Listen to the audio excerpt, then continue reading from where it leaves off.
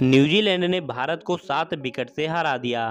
Toss हारकर पहले बल्लेबाजी करते हुए भारत की ओर से शिखर धवन और सुमन गिल ने अच्छी शुरुआत की। शिखर धवन बहत्तर रन और सुमन गिल ने 50 रनों की बेहतरीन पारी खेली।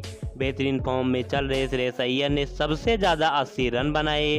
पिछली आठ पारियों में श्रेयस अय्यर का यह पांचवा अर्धशतक रहा। ऋषभ पंत का बल्ला फिर नहीं चला, मात्र 15 रन ही बना सके। संजू सैमसन ने 36 रन और सुंदर ने 16 गेंदों में तूफानी 37 रनों की पारी खेली और भारत के स्कोर को भी 306 रनों तक पहुँचा दिया। न्यूजीलैंड की ओर से टीम सऊदी और लॉकी फर्गूसन को तीन तीन सफलताएँ मिली। लक्ष्य का पीछा करते हुए न्यूजीलैंड की शुरुआत खराब रही। फिन एलन 22 रन और कॉनवे 24 रन बनाकर आउट हो गए। कप्तान केन विलियमसन और टिम लाथन ने 200 से अधिक रनों की साझेदारी कर भारत के जबड़े से जीत को निकाल ले गए। विलियमसन ने नवाद चौरानबे रन और टिम लाथन ने नवाद 145 रन बनाए। उमरान मलिक को दो विकेट और शार्दुल ठाकुर को एक सफलता मिली।